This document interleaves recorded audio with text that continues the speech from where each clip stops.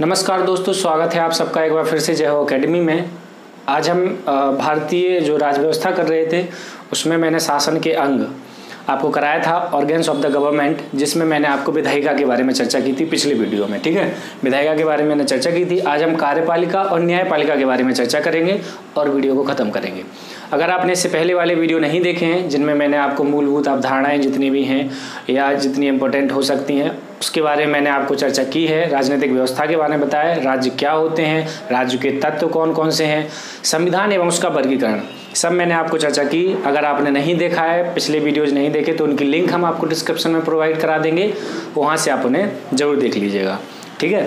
तब इस वीडियो पे आएगा ताकि आपको अच्छे से समझ आ सके, सब कुछ क्लियर हो सके। अभी हम कार्यपालिका और न्यायपालिका या विधायिका जिसके बारे में अभी जो हमारे वीडियोस आएँगे, उसमें आपको बेसिक जानकारी दी जाएगी। उनकी प्रोसेस उनके बारे में बताया जाएगा, जितना भी बेसिक्स है उनके बारे में, ठीक है? बाकी विस्तार से फैक्चुअल सारा कुछ जो संविधान में हम पढ़ेंगे, जब कार्यपालिका, न्यायपालिका उसमें अलग से विस्तार से जानेंगे, अभी ये आपके लिए इंपॉर्टेंट बन सकता है, ताकि आपकी से एक समझ विकसित हो जाए, आपको एक ओवरव्यू मिल जाए, सारे जितने भी इंपॉर्टेंट पॉइंट बन सकते हैं उनके बारे में, ठीक है? तो विधायिका के बारे में मैं आपसे चर्चा कर चुका हूँ। आज हम किस पे बात करेंगे? कार्यपालिका पे बात करेंगे सबसे पहले। तो कार्यपालिका मतलब मतलब हम बोल सकते हैं कि कोई व्यक्ति या व्यक्तियों का ऐसा समूह जो क्या करता है? विधायिका द्वारा निर्मित कानूनों का शासन उसी के कानून के अनुसार शासन को चलाते हैं। कार्यपालिका से मतलब हमारा है कि कोई व्यक्ति या व्यक्तियों का समूह एक, जो कानून के अनुसार शासन को चलाते हैं या कानून को लागू करते हैं किसी राज्य में, ठीक है? उसको हम क्या बोलते हैं? वो कार्यपालिका होती है। कार्यपालिका को भी हम दो पार्ट में विभक्त कर सकते हैं। एक होता है राजनीतिक कार्यपालिका, ठीक है? राजनीतिक कार्यपालिका। और एक है स्थायी कार्यपालिका।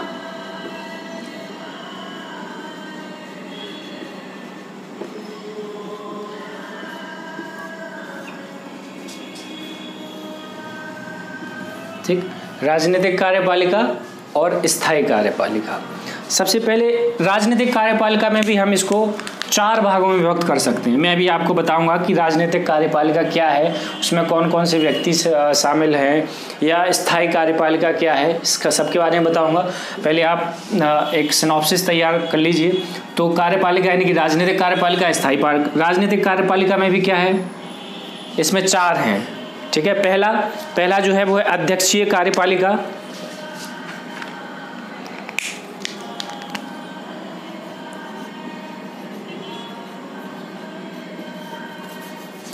अध्यक्षीय कार्यपालिका। दूसरा है संसदीय कार्यपालिका।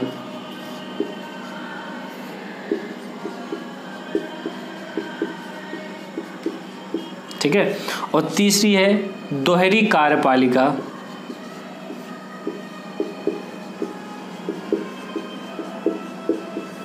और फोर्थ है बहुल कार्यपालिका।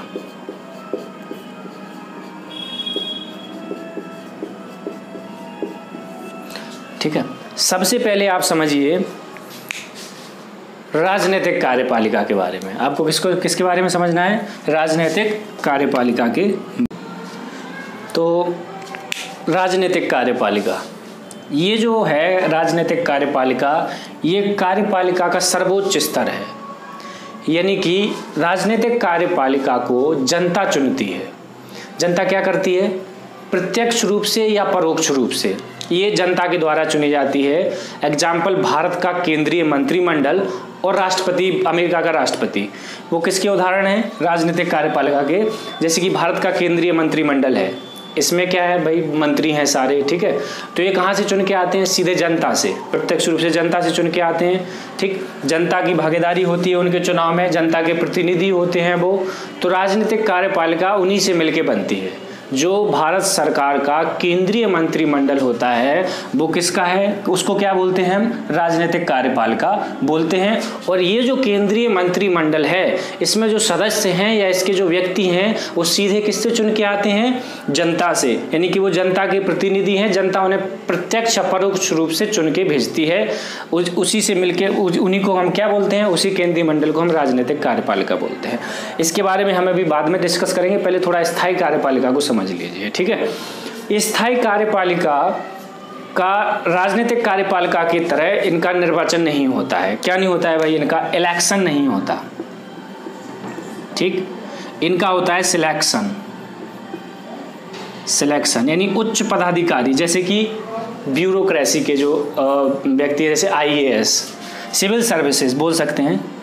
कि सिविल सर्विसेज़ के जो अधिकारी हैं इंडियन एडमिनिस्ट्रेटिव सर्विस ठीक है? सिविल सर्विस की तैयारी कर रहे हैं आप सब लोग। तो आप आई बनने की चाह रखते हैं जो भी हैं तो आप किसमें जाएँगे? आप जाएँगे स्थायी कार्यपालिका में, ठीक? यहाँ पे इम्पोर्टेंट ये है तो स्थायी कार्यपालिका, पहले समझ लिए स्थायी कार्यपालिका होती क्या है? स्थायी कार्यपालिका में उच्च पदाधिकारी आते हैं। जितने भी सिविल सर्विसेज़ से रिलेटेड, जैसे कि आईएएस हो गया, ये तो अखिल भारतीय सेवा हो गई। केंद्रीय सेवा में आईएफएस हो गया इंडियन फॉरेन सर्विस और रेवेन्यू सर्विस हो गया। ठीक है, ये सब किसमें है? केंद्रीय सेवा में। तो केंद्रीय सेवा के अधिकारी या फिर राज्यों की लोक सेवा के अधिकारी और अन्य सिविल सर्विसेज़ के अधिकारी जितने भी हैं, वो सब किसके में आते हैं? वो स्थायी कार्यपालिका में आते हैं, जो शासन शासन को कानून के अनुसार चलाने में क्या करते हैं? मदद करते हैं। यहाँ पे समझने वाली इम्पोर्टेंट बात ये है कि भाई जो स्थायी कार्यपालिका है, वो इसके दिशा निर्देश पे काम करती है। राजनीतिक कार्यपालिका के दिशा निर्देश पे काम करती है स्थायी कार्यपालिका। ठीक है? चूँकि ये एक और बात यहाँ समझिए। स्थायी कार्यपालिका के जो अधिकारी हैं, जितने भी अधिकारी हैं सिविल सर्विसेज़ के, वो क्या होते हैं भाई? दक्ष होते हैं विशेष क्षेत्र में। क्योंकि इन्हें जो ट्रेनिंग दी जाती है, इनका जो प्रशिक्षण होता है, काय के अनुरूप होता है? शासन को संचालन के अनुरूप ही होता है। शासन में क्या हो? इनकी भागीदारी सुनिश्चित हो, किस प्रकार से कानून को लागू करना है तो इनका पूरा प्रशिक्षण ही किस पे होता है? ये इसी में दक्ष होते हैं शासन के संचालन के लिए। ठीक है ना? तो कभी कभार क्या होता है? अगर कोई सदस्य है तो पहली बात तो ये कि भाई राजनीतिक कार्यपालिका किससे सलाह ले सकती है या स्थायी कार्यपालिका राजनीतिक कार्यपालिका को मदद करेगी? कानून को लागू कर, करने में कानून का क्रियान्वयन कराने में ये इसकी मदद करेगी। लेकिन स्थायी कार्यपालिका किसके निर्देश पर चलेगी? राजनीतिक कार्यपालिका के निर्देश में कभी कभार क्या होता है कि राजनीतिक कार्यपालिका के सदस्य जो होते हैं या इसमें जो केंद्रीय मंत्रिमंडल मंत्रिमंडल है हो सकता है उसमें कोई व्यक्ति या किसी एक विशेष क्षेत्र में नहीं उसको जानकारी हो। ना पता हो, ठीक है? तो वो किससे सलाह लेगा? या किससे पूछेगा? वो स्थायी कार्यपालिका उसकी मदद करेगी उस विशेष क्षेत्र में जानने के लिए, बताने के लिए सारा कुछ किस कौन मदद करेगा? राजनीतिक कार्यपालिका को स्थायी कार्यपालिका मदद करेगी, ठीक है? तो राजनीतिक कार्यपालिका और स्थायी कार्यपालिका, आपको पता चला, ठीक है? अब हम जानेंगे, पहले इसको मिटा दूँगा अब हम जानेंगे अध्यक्षीय संसदीय और दोहरी और बहुल कार्यपालिका क्या है। ठीक है? मेरा यहाँ पे ये वीडियो लाने का उद्देश्य यही है कि आपको सारा कुछ पता चल सके कि है क्या, ठीक है? बाकी मैं सीधा संवैधानिक विकास शुरू कर देता, सत्रह से शुरू कर देता, जो एक्ट आया था रेगुलेटिंग एक्ट वहाँ से स्टार्ट कर देता, संविधान को ख़त्म करा, कराते हुए पूरा और आपका पॉलिटी ख़त्म करा देता। लेकिन मेरा उद्देश्य ये है नहीं, अगर आ, मेरा उद्देश्य है कि आपकी एक समझ विकसित हो सके आपको पता चले। अगर आपको कोई डाउट है तो आप ज़रूर पूछें कमेंट बॉक्स में हमें लिख कर भेजें बताएँ हमें कि कहाँ डाउट हो रहा है किस टॉपिक पे या कहाँ ज़रूरत है आ, समझने की। तो हाँ मैं आपको ज़रूर बताऊँगा। और किसी खास स्पेशल सब्जेक्ट या स्पेशल टॉपिक पे कोई वीडियो आपको चाहिए या समझ नहीं आ रहा है तो वो भी हमें ज़रूर शेयर करें बताएँ। उस उस पर भी आपको पूरी हेल्प की जाएगी बताया जाएगा आपको ठीक है? तो मैंने आपको कार्यपालिका में राजनीतिक कार्यपालिका और स्थायी कार्यपालिका बताया। अब समझते हैं अध्यक्षीय कार्यपालिका, ठीक है? ठीक है? तो अध्यक्षीय समझिए। सबसे पहले अध्यक्षीय। हम इसे सारी को जितने भी हैं एग्ज़ाम्पल से समझेंगे तो आपको अच्छे से समझ आ जाएगा पूरा। कैसे? अब यूएसए हुआ, अमेरिका। देखिए यूएसए तो वहाँ पे जो है वो अध्यक्षीय कार्यपालिका है। कैसे? अध्यक्षीय कार्यपालिका का प्रमुख जो होता है वो राष्ट्रपति होता है, ठीक है? और अमेरिका में राष्ट्रपति जनता के द्वारा प्रत्यक्ष रूप से चुन के आता है। वही जो है, वहाँ पे कार्यपालिका की जो शक्तियाँ दी गई हैं, वो किसमें निहित हैं? राष्ट्रपति में निहित हैं और राष्ट्रपति ही उन्हीं शक्तियों का उपयोग करता है शासन को चलाने के लिए, अमेरिका जैसे देश में। तो वहाँ पे क्या है भाई? अध्यक्षीय कार्यपालिका है। यानी कि राष्ट्रीय जो, सॉरी, राष्ट्रपति जो है, वो कार्यपालिका का प्रमुख है, वही शक्तियों का इस्तेमाल करता है, उसी में सारी शक्तियाँ निहित हैं। ठीक है, वही कानून को चला, कानून के अनुसार शासन चलाने में उसी की मुख्य भूमिका होती है राष्ट्रपति की अमेरिका में। इसलिए हम अमेरिका के एग्ज़ाम्पल से किसको समझा? अध्यक्षीय कार्यपालिका को। अब देखिए संसदीय कार्यपालिका। तो संसदीय कार्यपालिका जो है, वो ब्रिटेन और इंडिया, यानी कि भारत, ब्रिटेन और भारत जैसे देशों में प्रचलित है। इंग्लैंड और भारत। इंडिया। ठीक? यहाँ पे क्या है? यहाँ पे विधायिका, जैसे जो विधायिका के सदस्य हैं, ये विधायिका के सदस्य क्या होते हैं भाई? जिसमें जिस दल के विधायिका के सदस्य जो हैं, वो जनता द्वारा चुन के आते हैं, प्रत्यक्ष या परोक्ष रूप से। उनमें, उन सदस्यों में जिस दल का बहुमत ज़्यादा होता है, उस दल की सरकार बनती है, और उन्हीं सरकार के सदस्यों को मंत्रिमंडल कहते हैं, ठीक है, भारत में। लेकिन कार्यपालिका का जो औपचारिक प्रधान है भारत में, वो राष्ट्रपति है। औपचारिक है, लेकिन वास्तविक औपचारिक प्रधान तो राष्ट्रपति है, लेकिन वास्तविक जो प्रधान है, वो है पीएम प्रेसिडेंट है। ठीक? तो इस प्रकार की व्यवस्था क्या है भाई? संसदीय व्यवस्था है, संसदीय कार्यपालिका है। इसमें वास्तविक प्रधान होता है, वहाँ का जो प्रधानमंत्री होता है। राष्ट्रपति भारत में औपचारिक प्रधान है, जबकि प्रधानमंत्री, सारी शक्तियाँ राष्ट्रपति में निहित हैं। लेकिन उन शक्तियों का इस्तेमाल कौन करता है? भारत में प्रधानमंत्री करता है। तो वास्तविक प्रधान कौन हुआ? प्रधानमंत्री हुआ। ठीक है तो ये तो हो गई भाई संसदीय कार्यपालिका। फिर से कि भाई जो विधायिका के सदस्य हैं, उन्हीं में बहुमत दल के जो सदस्य होते हैं, वही क्या करते हैं भाई? सरकार का निर्माण करते हैं, सरकार का गठन करते हैं, उन्हीं के सदस्य, मंत्रिमंडल। जो उन्हीं के सदस्यों से निर्मित होता है, उसी को हम केंद्रीय मंत्रिमंडल बोलते हैं। ठीक है? जो क्या है भाई? संसदीय कार्यपालिका के अंतर्गत आता है। दोहरी कार्यपालिका। इसमें देखिए। ये जो है, ये फ्रांस जैसे देशों में है। फ्रांस में क्या है कि भाई राष्ट्रपति, फ्रांस में जो राष्ट्रपति है वो यूएसए की तर्ज पे, यानी कि यूएसए में जिस प्रकार चुनाव होता है, जो मैंने आपको अध्यक्षीय कार्यपालिका बताया, यानी कि राष्ट्रपति जो चुन के आता है, वो अध्यक्षीय कार्यपालिका के तहत, प्रणाली के तहत चुन के आता है। लेकिन प्रधानमंत्री जो चुन के आता है, वो संसदीय कार्यपालिका कार्यपालिका की जो प्रणाली है, उसके तहत चुन के आता है। जैसे कि ब्रिटेन और भारत में आता है, ठीक है? तो इस प्रकार वहाँ पे क्या है भाई? फ्रांस जैसे देशों में वहाँ पे दोहरी कार्यपालिका है। यानी कि दोनों, राष्ट्रपति और प्रधानमंत्री, एक ही समय में शक्तियों का उपयोग करते हैं। समझ आया? फ्रांस जैसे देशों में दोहरी कार्यपालिका व्यवस्था प्रचलित है, क्योंकि वहाँ पे राष्ट्रपति और प्रधानमंत्री दोनों एक ही समय में शक्तियों का इस्तेमाल करते हैं, यानी कि दोनों खो शक्तियाँ वहाँ पे प्राप्त हैं। कानून का समान रूप से इस्तेमाल करने की और कानून के अनुसार शासन को चलाने की फ्रांस जैसे देशों में। तो वहाँ पे क्या है भाई? दोहरी कार्यपालिका है। अब देखिए बहुल कार्यपालिका। बहुल कार्यपालिका। इसको हम समझेंगे स्विट्ज़रलैंड से। बताता हूँ अभी। स्विट्ज़रलैंड। देखो, इस देश में क्या है? वहाँ पे बहुल कार्यपालिका की व्यवस्था प्रचलित है। कैसे? तो यहाँ पे शक्तियाँ जो है, इस इस कार्यपालिका में एक प्रमुख है। एक प्रमुख है, इसको मिला के और सात और सदस्य हैं। एक प्रमुख को मिला के सात और सदस्य हैं स्विट्जरलैंड की कार्यपालिका में। ये सारे सदस्य समान रूप से शक्तियों का इस्तेमाल करते हैं। यानी कि किसी एक के पास शक्तियाँ नहीं हैं या कोई एक प्रमुख नहीं है। एक प्रमुख है, लेकिन वो औपचारिक प्रमुख है। वास्तविक कोई प्रमुख नहीं है, यानी वास्तविक जो प्रमुख हैं, वो सारे जितने भी राज, वहाँ पे कार्यपालिका, यानी कि बहुल कार्यपालिका के अंतर्गत, जितने भी वहाँ पे सदस्य हैं, वो समान रूप से एक ही समय में शक्तियों का उपयोग करते हैं और कानून के अनुसार शासन को चलाने में मदद करते हैं। समझ आया? यानी कि बहुल कार्यपालिका के अंतर्गत हम ये देख सकते हैं कि जितने भी कार्यपालिका में सदस्य हैं, उनको समान रूप से शक्तियाँ प्राप्त हैं और सभी एक ही समय में समान रूप से उन शक्तियों का इस्तेमाल करते हैं। उम्मीद करता हूँ आपको समझ आया होगा। अब अगर हम भारत की बात कर लें, भारत की तो भाई भारत में क्या है? भारत में संसदीय कार्यपालिका है, जो किसकी तर्ज पे है? ब्रिटेन की तर्ज पे है। यहाँ पे क्या है भाई कि विधायिका के जो सदस्य हैं, विधायिका के सदस्य कहाँ से चुन के आते हैं? जनता के द्वारा सीधे चुने होते हैं जो कानून निर्माण में कानून का निर्माण करते हैं करने वाली संस्था है विधायिका। उसके सदस्यों का चुनाव प्रत्यक्ष रूप से जनता के द्वारा होता है। उसके बाद ये देखा जाता है कि उनमें, उन सदस्यों में बहुमत किसके पास है? उस बहुमत वाले दल को सरकार बनाने का मौका मिलता है, वो सरकार बनाती है उन्हीं के सदस्यों को हम मंत्रिमंडल के नाम से जानते हैं। तो भारत जैसे देश में संसदीय कार्यपालिका है ठीक है? और वहाँ पे राजनीतिक कार्यपालिका जो है, वो वहाँ का केंद्रीय मंत्रिमंडल है। ठीक है? या जिसे सरकार बोलते हैं, जो उस समय उपस्थित होती है।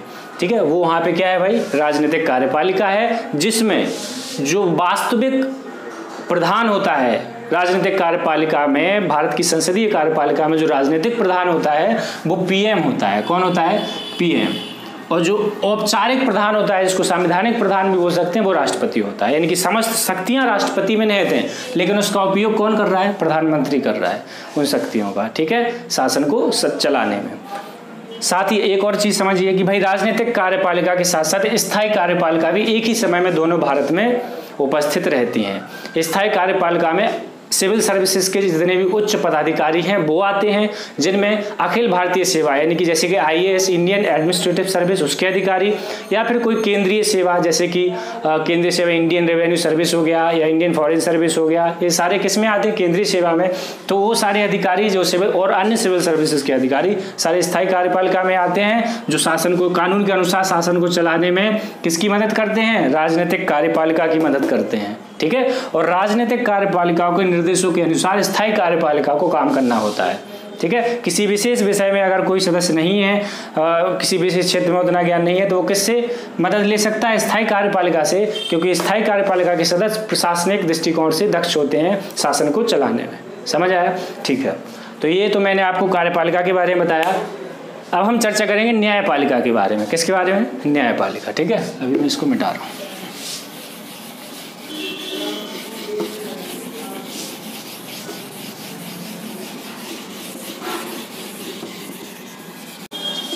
ठीक है? न्यायपालिका। बोल सकते हैं भाई कि ये शासन का तीसरा अंग है?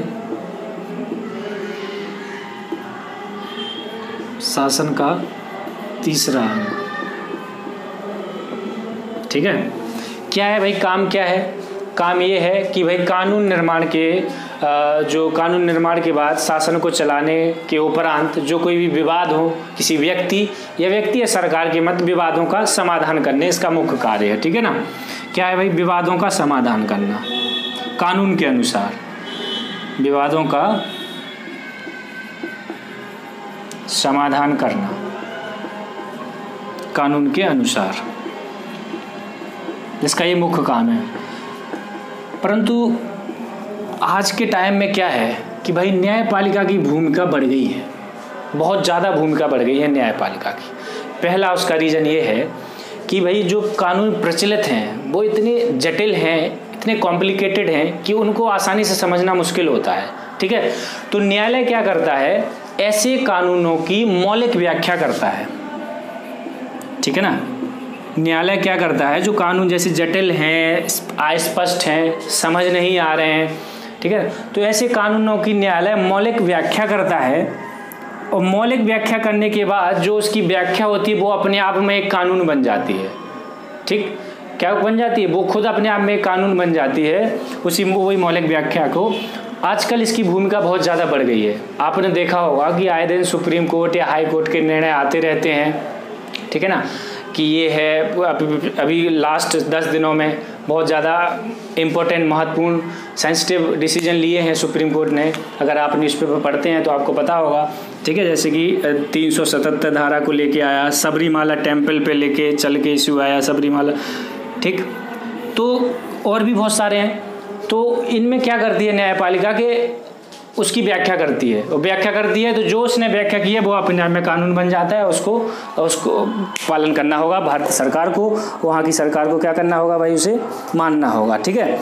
इन्हीं कानूनों को, जो ये व्याख्या करके जो कानून बनते हैं, इनको न्यायाधीश निर्मित कानून बोलते हैं। क्या बोलते हैं? न्यायाधीश निर्मित कानून। या या निर्णय कानून। निर्णय कानून भी बोलते हैं। आजकल इसकी प्रासंगिकता बहुत अधिक बढ़ गई है। इनके लिए एक अलग से शाखा भी हो गई है। ठीक? तो मेरा यहाँ कहने का मतलब ये है कि अब केवल विवादों का समाधान करना कानून के अनुसार ही न्यायपालिका का काम नहीं रह गया है। आज के वर्तमान परिप्रेक्ष्य में न्यायपालिका की भूमिका बहुत अधिक बढ़ गई है। क्यों? क्योंकि कानून इतने जटिल और अस्पष्ट हैं कि उनकी मौलिक व्याख्या करना आवश्यक हो गया है। आप रिसेंट एग्ज़ाम्पल ले सकते हैं। या पिछले भी काफ़ी सारे एग्ज़ाम्पल हैं जिनको आप ले सकते हैं। इसके अलावा देखिए आप। ठीक है? थोड़ा और जान लेते हैं इसमें।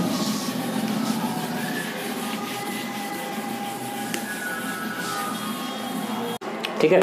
अब हम थोड़ा सा न्यायपालिका की शक्तियों के बारे में जानते हैं। ठीक है? क्या जानते हैं? शक्तियों के बारे में इसकी। थोड़ा सा चर्चा कर लेते हैं ताकि आपको कोई कन्फ्यूज़न ना रहे।